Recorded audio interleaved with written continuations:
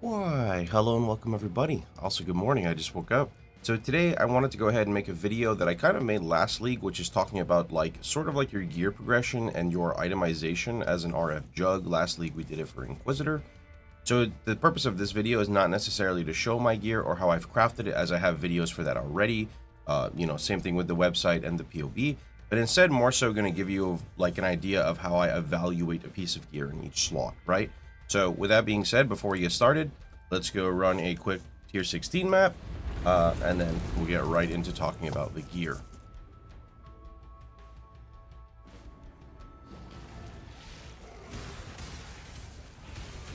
I do have to say this Oriath's End Flask is like the pinnacle reason for me to play softcore right now. It's I don't know, it's so beautiful. It's it's amazing. The fact that you can go explode without having to like deviate your tree or go avatar of fire, use a cluster jewel, I don't know, it's pretty crazy.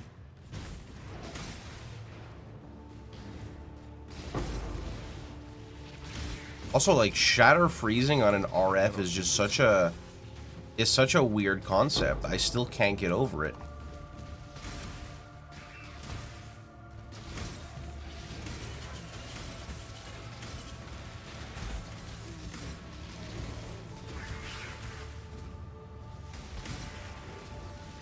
Hello, Expedition. How you doing, bud? Do you later. Alright, map should be cleared. Nice.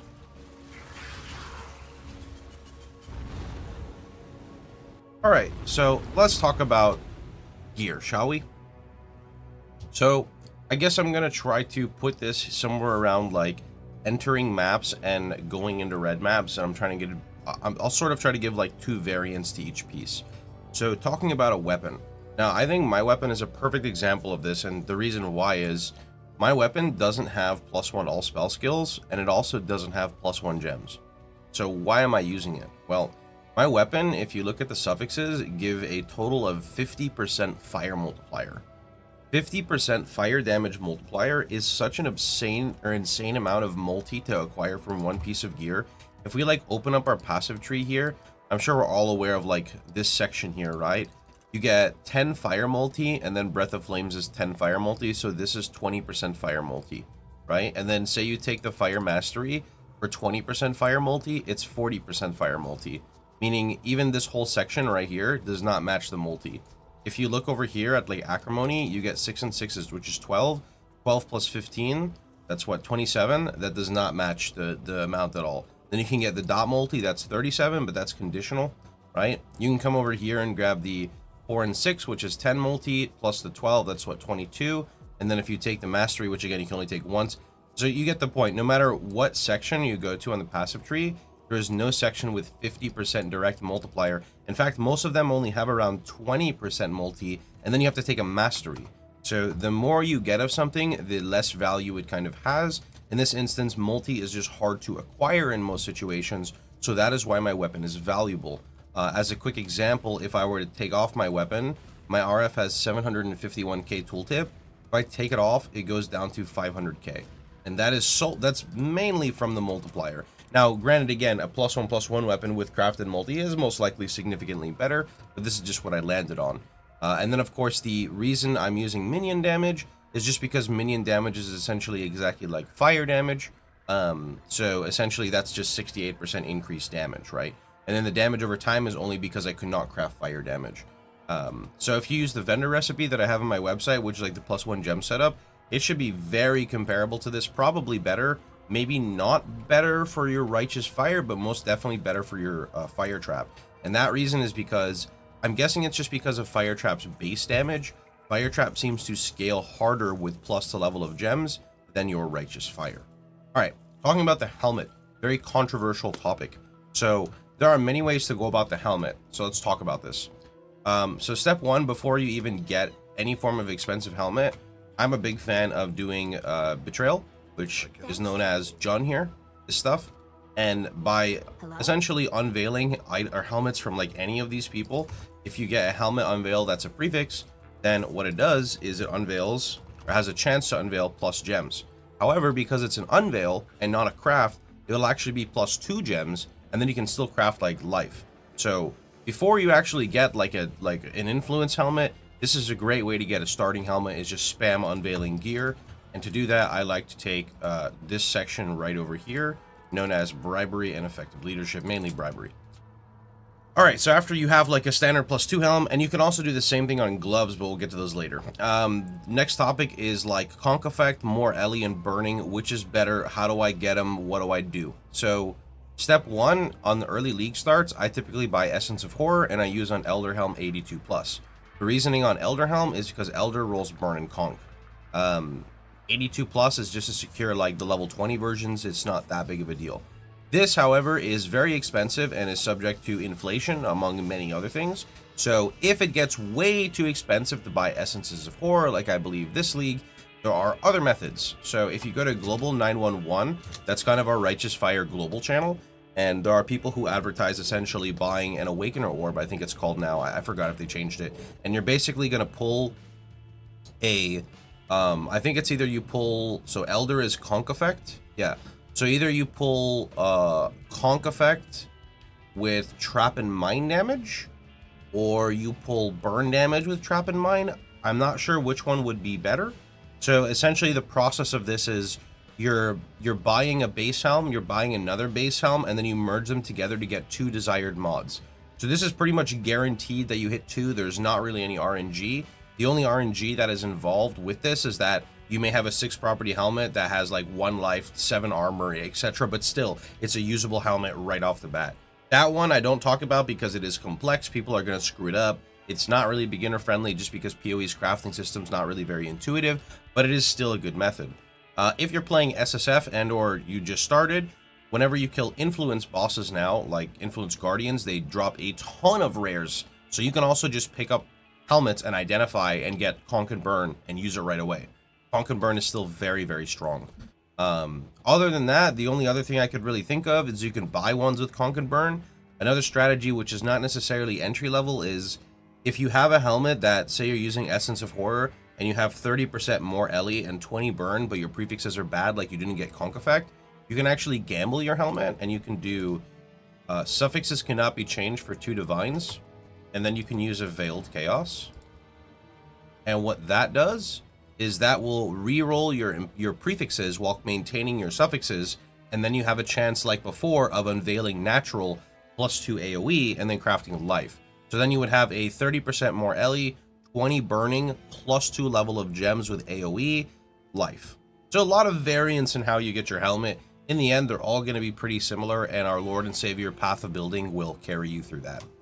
All right, shield options. So if you're in Trade League, you can go with this simple simple strategy here. Uh, Rise of the Phoenix into Dawnbreaker. Above 40k armor, switch to Saffell's Frame. Why? Well, Rise of the Phoenix is very good in the early game. You never have to use it ever. It just gives you an abundance of fire res, um, maximum fire res, and life regen.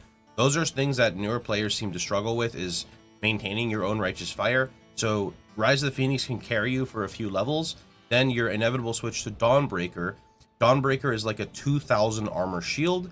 Uh, the reason why you want to use Dawnbreaker is it also converts percentages of lightning and cold damage to fire.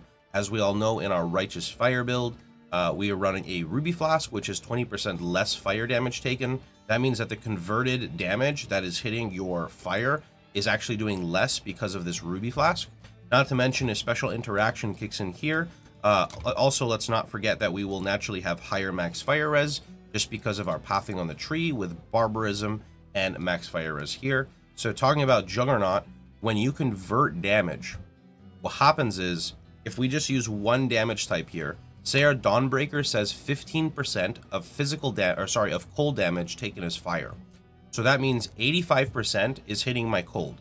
So because I'm not taking 100% of cold anymore, the hit of the cold damage is lowered.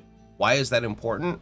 That's lowered, uh, that's important, sorry, because Unbreakable makes it so 8% of armor applies to fire, cold, and lightning damage.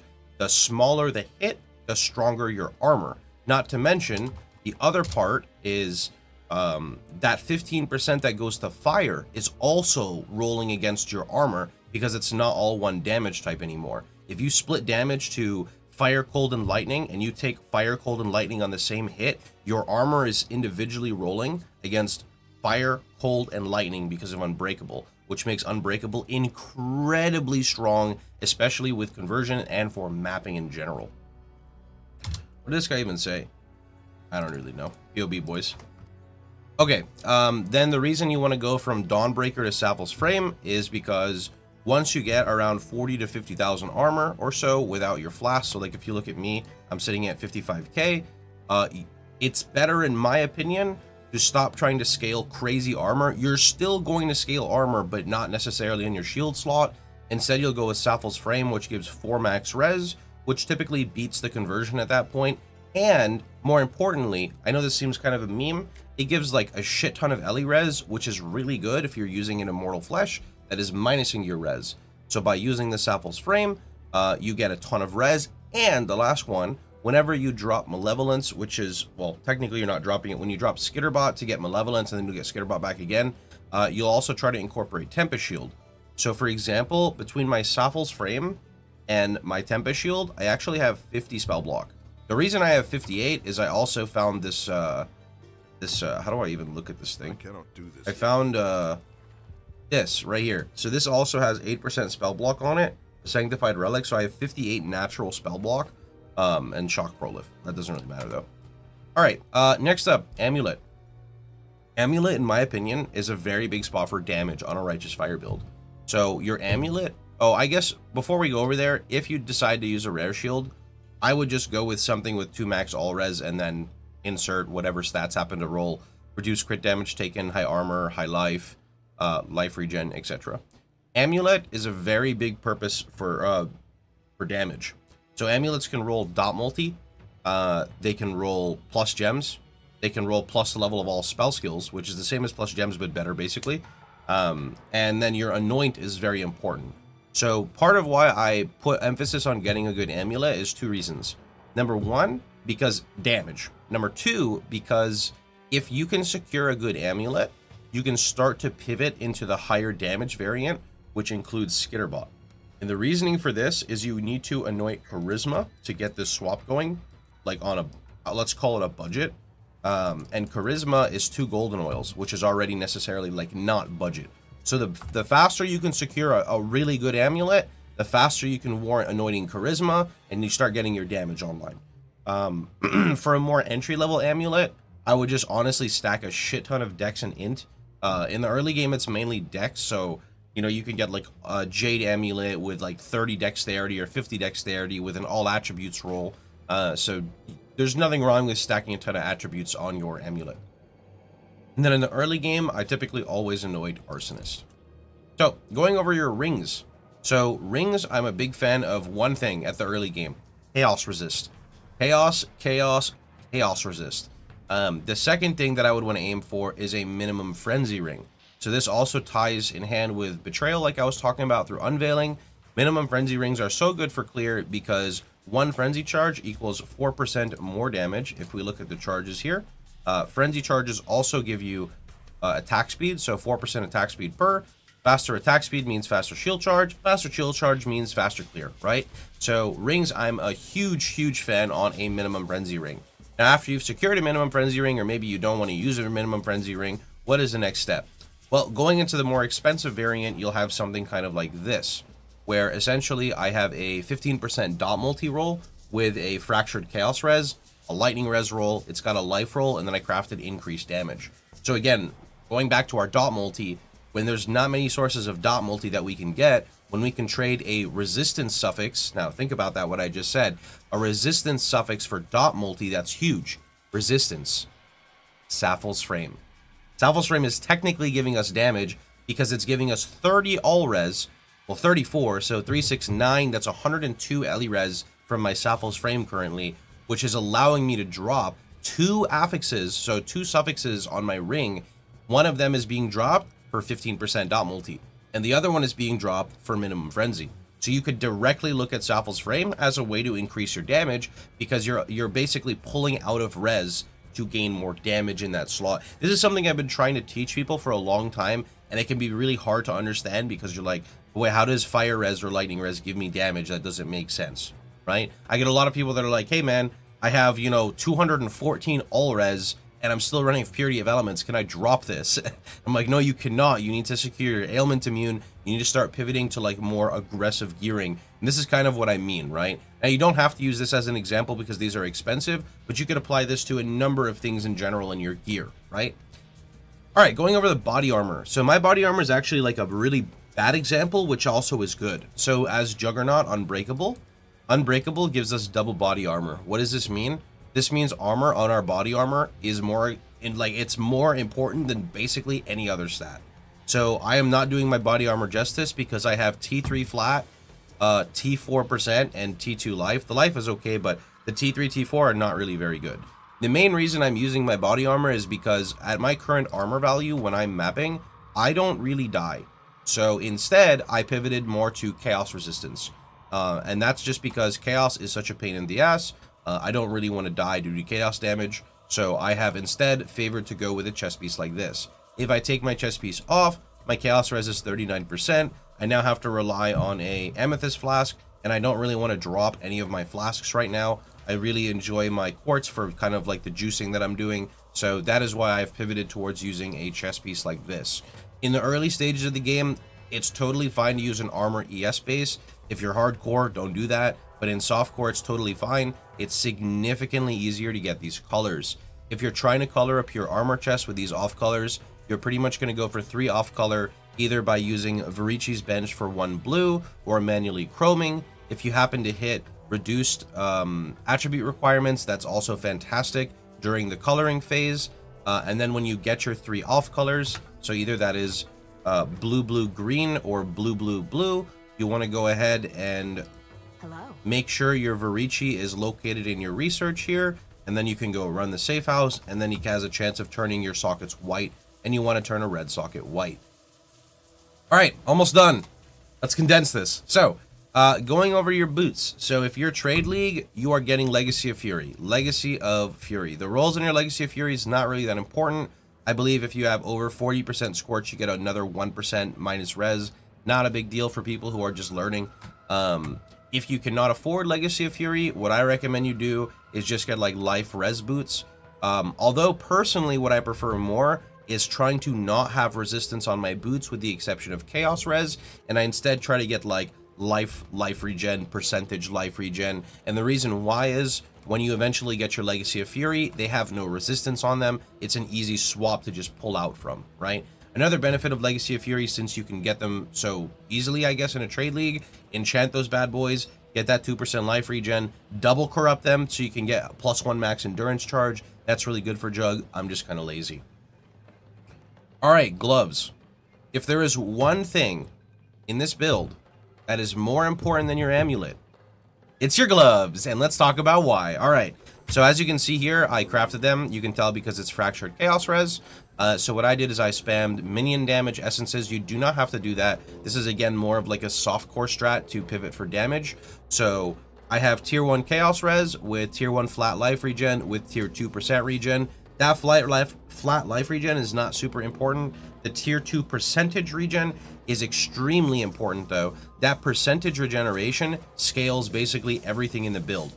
All of your flat regen you get from Immortal Flesh, the flat on my amulet, the flat on my body armor, the flat from my vitality, that all scales with that that 19% regeneration, right? That's essentially a multiplier to all of your flat. And I think it also, I'm pretty sure it scales with percentage regen, so in general, you don't ever want to lose out on this stat. Uh, then furthermore, for your prefixes, you want to make sure you're getting something similar to like basically just like life. Life and armor would be nice. If you have a prefix open and you have a life roll already, crafting plus one gems is not bad. Remember in the early game, you could move your RF or your fire trap here. In the more later stages of the game, you can stick your auras in here. Uh, this is good because like your determination gets plus one. If your malevolence is 21 and you put it in your gloves and it goes to 22, you actually get 1% more damage over time. And then essentially just my vitality is in there as well. However, there's another really important part, and I forgot about this. I'll talk about it on the boots as well. So the reason you want to get good gloves is so you can start investing currency into rolling your implicits. Getting fire exposure is a big damage boost. It's basically like using a miniature flammability without anything, any button presses because it applies on hit. So when we use our like frost blink on a target or throw a fire trap or shield charge him in the face, it applies that fire exposure. Although shield charge has to roll accuracy.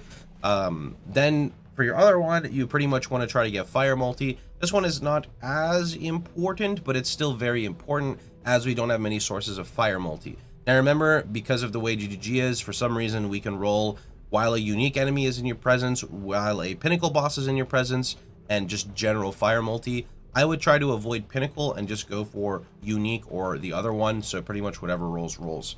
Also, whenever you get that fire multi located there, don't forget you have the ability to, for example, take a the uh, fire multi here, and or you can use the increased effect, not fire multi, the minus res. The exposure is minus 18, or you can use the 40% effect of non-damaging elements for your legacy, um, and then you can also take a minus five that I still have to take here.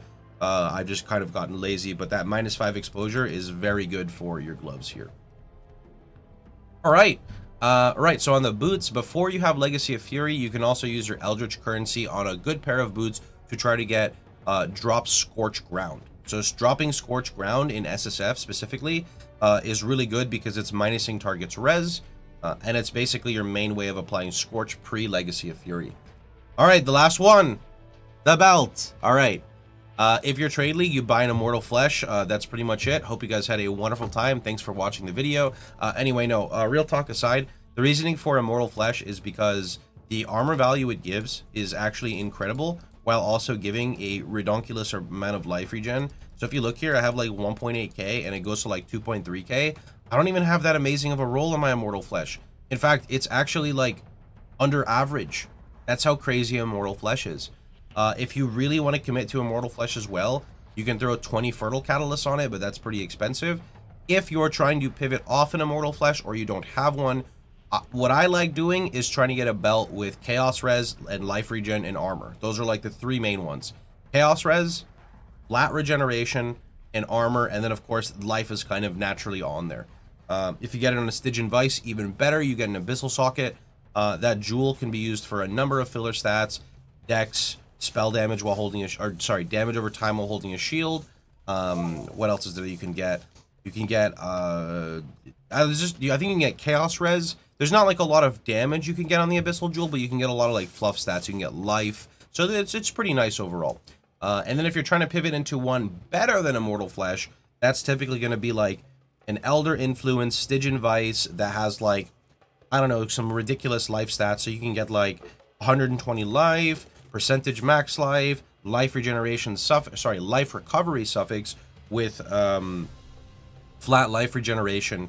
You really want to try to get an armor roll as well because having a ridiculous amount of life regen does not protect you against a one shot, right?